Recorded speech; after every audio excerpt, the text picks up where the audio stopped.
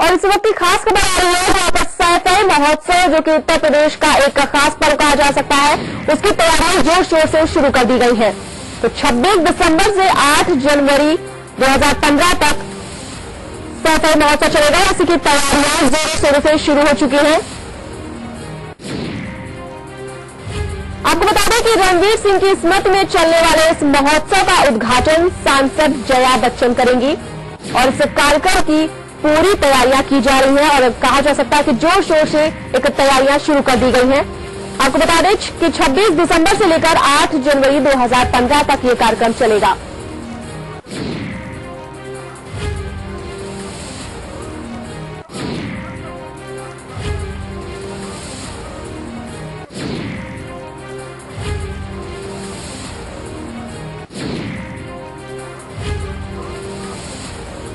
इस वक्त की एक खास और अहम खबर कही जा सकती है, जहाँ पर समाजवादियों का एक खास पर्व कहा जाने वाला सैफई महोत्सव, जिसकी तैयारियाँ जोरों शोरों से शुरू कर दी गई हैं। और आपको बता दें कि ये कार्यक्रम 26 दिसंबर से 8 जनवरी 2015 तक चलना है, और इस कार्यक्रम का उद्घाटन सांसद जया बच्चन के हाथों होगा, किया जाएगा। तो आपको बता दें कि इस वक्त की अहम खबर, जहाँ पर सैफई महोत्सव की तैयारियाँ ज़ोर शोर से शुरू कर दी गई हैं।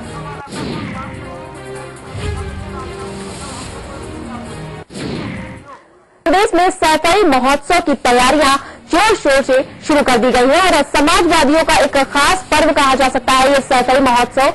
और बहुत ही अहम होता है समाजवादियों के लिए। आपको बता दें कि 26 दिसंबर से 8 जनवरी 2015 तक ये कार्यक्रम चलेगा।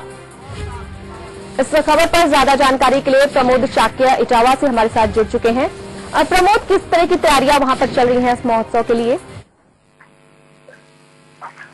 सैफई महोत्सव चूँकि मुख्यमंत्री अखिलेश यादव के गाँव में होता है और इसको लेकर के सरकारी और गैर सरकारी तरह से तैयारियाँ बहुत ही तेज़ी से चल रही है। यहाँ बताना ज़रूरी है कि मुख्यमंत्री के भाई बड़े भाई जो चचेरे भाई थे रणवीर सिंह यादव उन्होंने उन्नीस सौ पंचानवे छियानवे में इस महोत्सव की शुरुआत कराई थी और उसके बाद में उनके न रहने के बाद में उन्हीं की स्मृति में इस महोत्सव का शुभारंभ 2004 से शुरू कर दिया गया है और बड़े भव्य तरीके से शुरू हुआ जिसमें सरकारी स्तर पर भी बहुत बड़ी मदद की भूमिका इसमें अदा की जाती है। कई सरकारी कार्यक्रमों का आयोजन कराया जाता है सांस्कृतिक विभाग की तरफ़ से। तो इस तरीके से ये कह सकते हैं कि साल का जो आखिरी दौर है, जिसको शीतकालीन सत्र बोलेंगे तो सैफई के लिए तो न केवल महत्वपूर्ण है, बल्कि समाजवादी तो के लिए भी महत्वपूर्ण है, जहाँ पर जोश जश्न पूरी तरीके से दिखलाई देगा और लंबे समय से ये बदस्तूर यहाँ पर जारी है। जी, हम आपसे ये भी जानना चाहेंगे कि एक तरह का जो महोत्सव शुरू हो रहा है, अभी 26 तारीख से ही शुरू होने वाला है तो पांडाल की ऐसे में क्या व्यवस्था की गई है, मंच की क्या व्यवस्था है, और सर्दी हो रही है तो सर्दी भी काफ़ी हो रही है तो इसमें ऐसे में क्या प्रशासन व्यवस्था कर रहा है सफ़ाई महोत्सव के लिए? सैफई में एक विधिवत पंडाल की स्थापना पहले से ही कर रखी गई है जिसको सैफई मंडल पंडाल का नाम भी दे करके रखा हुआ ब्लॉक परिसर में बनाया गया तकरीबन एक लाख से अधिक लोगों के बैठने का बंदोबस्त उसमें पहले से ही हुआ हुआ है। तो इस तरीके से हम ये कह सकते हैं कि चूँकि व्यवस्थाएँ लगातार स्थायी व्यवस्थाएँ हैं तो बस फौरी तौर पे कुछ करना रहता है। तो वही सब चीज़ें वहाँ करने की कोशिश और कवायद की जा रही है। हम आपसे ये भी जानना चाहेंगे कि इस बार इस सैफई महोत्सव में किस तरह के कार्यक्रम होने हैं और किस आ, कौन कौन से कलाकार इसमें शिरकत कर सकते हैं? क्या कोई सूचना मिल पा रही है?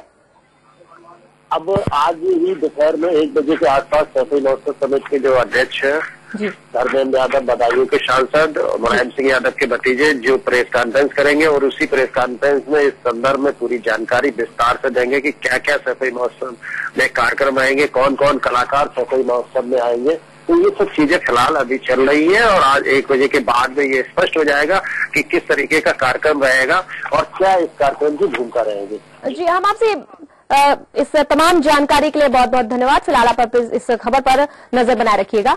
तो इस वक्त की खास खबर, जहाँ पर इटावा में इस वक्त तैयारियाँ शुरू हो गई हैं, सफ़ाई महोत्सव की, और ज़ोर शोर से तैयारियाँ शुरू हो गई आपको बता दें कि 26 दिसंबर से 8 जनवरी 2015 तक ये महोत्सव चलने वाला है, और जिसमें सांसद जया बच्चन इस कार्यक्रम का उद्घाटन करेंगी।